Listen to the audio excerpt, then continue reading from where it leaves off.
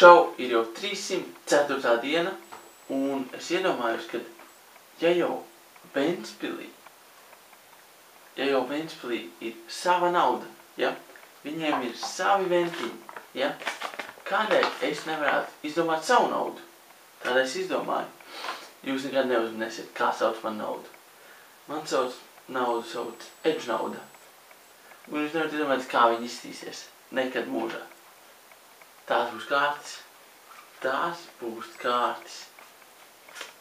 Tā būs mana nauda.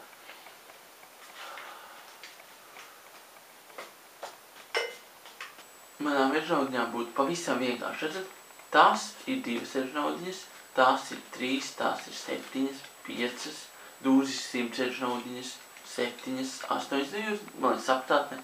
Tā kā, vienkārši apties zīmīt, un tad saproti. Nav tik saržģīti. Redzat, deviņas, tās ir trīs, nu jūs sapratāt, vai ne? Bet tagad es jums parādīšu tikai, tikai ar divām virsnaudiņām, ja? Redzat? Un es esmu uz tevi, man vajadzēs vienu, tā kā, burvju, burvju apmetnīti, un tas būs šis mans vakardienas topiņš. Ja? Tad es apklāšu kārtas ar to, un es parādīšu, kāda ir aizsardzība manām, manām naudiņām. Nerādīšu visām, bet tikai, tikai vienai. Ja? Tikai tam kreits, kreits divniekam, jeb divām naudiņām. Ja? Es paņemšu un to iemetīšu šeit būdžā. Klausieties, redzat? Ir tiešām iekšā, vai ne? Bet skatieties, ja kāds nozog mamiņas, ja, un es nezinu, ko lai dara, tad es vienmēr varu nostipīt, un šīs ir naudiņas parādās tur, kur viņas bija sākumā.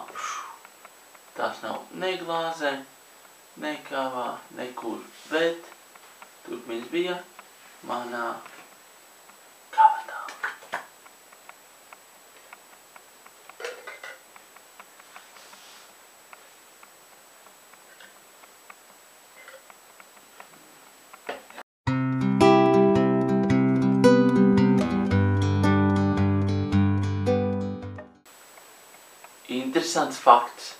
Tevi klausīsies daudz, daudz ciešāk, ja jebkuru frāzi iesāks ar vārdiem interesants fakts.